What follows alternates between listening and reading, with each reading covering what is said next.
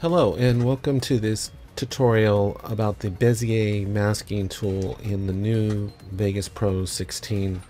I've had a few days to play around with it and I just wanted to kind of go over what I've discovered and how you might be able to use it to create some kind of cool stuff.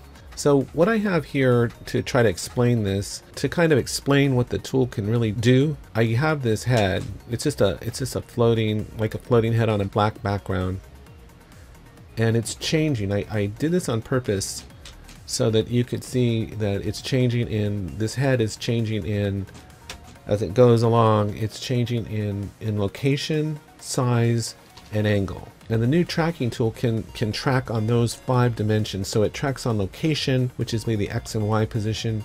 It tracks for size, which is the height and width of the object and then it tracks on angle or, or rotation. So the new motion tracker, it tracks on those five dimensions. I'll show you that too in a minute. So what we're actually going to be doing in this video is I'm going to, even though it's just a small figure, I'm actually going to mask out his eyes and apply an effect just to his eyes using this tool, hopefully. I'll show you how that how we're going to do that. Here we go. So to get to the tool, to get to the effect, I usually go to the first position, the first frame, go to effects and you go to Bezier masking and you go add and you go OK. And it brings up the tool. Now the tool is kind of confusing at first because like right now it's blocked out the whole image. So we got to go into general options and this part is actually kind of confusing to me. It was confusing at first. What's interesting is this blend slider here. So the blend, the best way to think of it, I think is uh, you can think of it as the mask effect control. But what's confusing is when it's on zero, the, the mask is on full power. And if you drag it to one, essentially the mask isn't on anymore. There's no mask. It's at zero power. So you can think of blend as the mask power. So at one, the mask is off. So if I click these invert and I click uh, mask effect, you'll notice that nothing is happening. And that's because the, the mask is essentially off. So if we turn it to, and now there's degrees of opacity, of strength as you slide it. Mostly I think you'd either have it on one or zero. So what's weird is the mask is now at zero, but we don't see anything. And the reason we don't see anything is because the, the, this is the mask and the tracking tool built into one. So that's kind of different that it's the tracking tool and the mask is all built into one. So what I said we wanted to do was mask his eyes while this face is going across the screen. And, and while his we'll be tracking his eyes, his eyes will be changing among those dimensions I said in location, size, and angle. So that's what we're going to play around with today. So what we do is we got a choice of masks. If you if you come up here, you've got a circle, a square, and a diamond. That's a choice you've got. And then if you come down here into mask, you've got a rectangle, an oval, and a diamond. So interestingly, I'm going to skip curve for another day. That seems to be like a custom mask. So I think an oval, rectangle, and a diamond probably will take care of most everything that you need. And also, of course, you've got that square that I mentioned earlier. So for this, since it's a face, we're going to go with oval.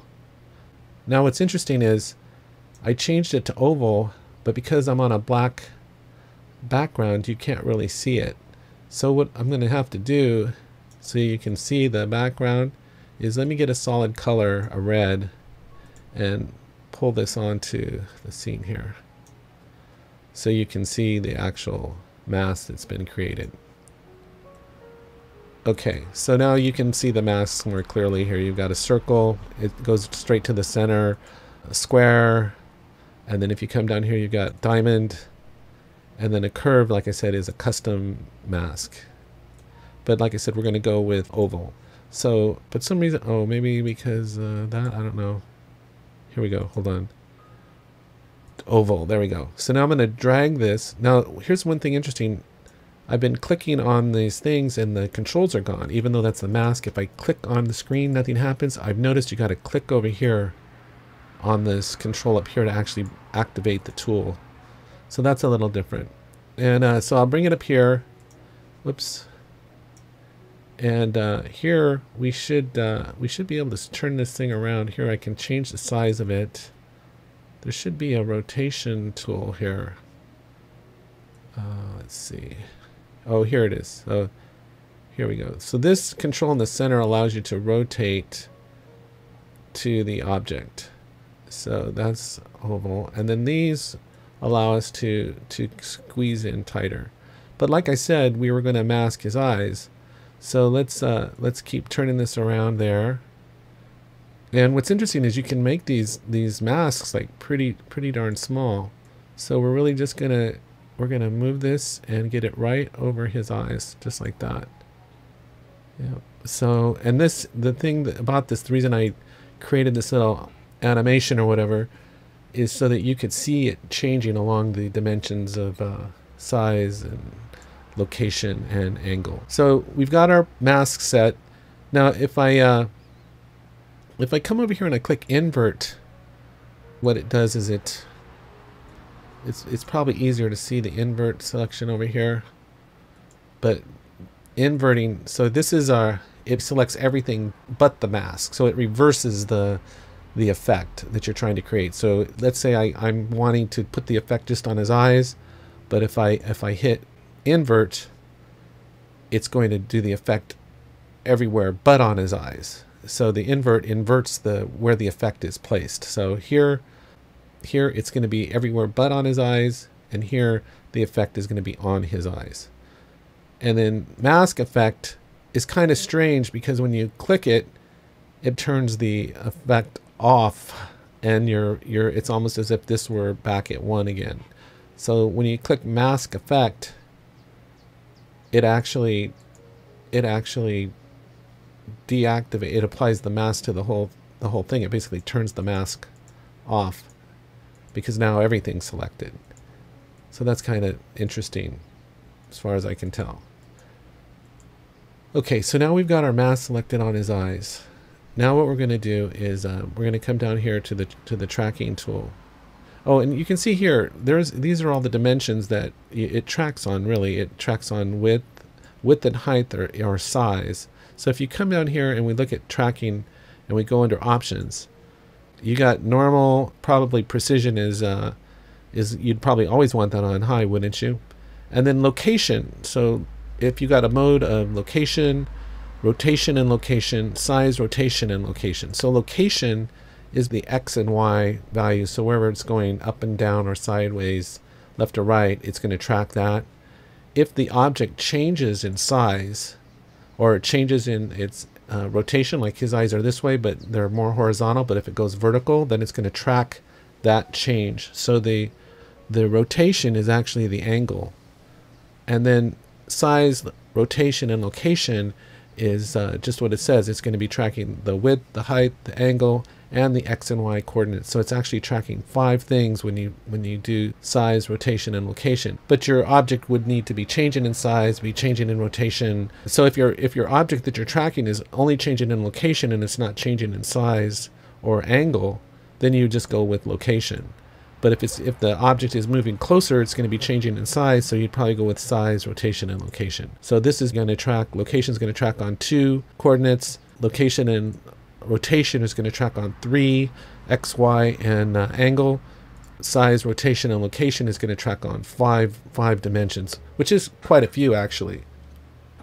So anyway, once you're in the the first position, then what's kind of weird about this is when you when you click start, it just it just goes. It it does this message, and you don't really see anything happening, other than these dots down here on the bottom. So, and you can see if we scroll down, we got, they created keyframes for width, height, angle, X and Y. So you can see, and you can see over here, it did appear to expand as his eyes got bigger over here.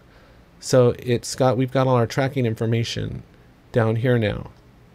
So now what we can do is let's, uh, let's go and add an effect. Let's add an effect so we can see how that all works out. So what's kind of fun to add is this bump map.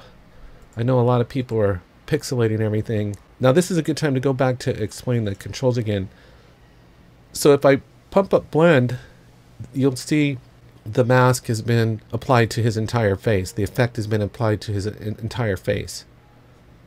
If I drag that back to zero and I go invert, the effect would be applied to everywhere but his eyes, which might be an interesting effect actually.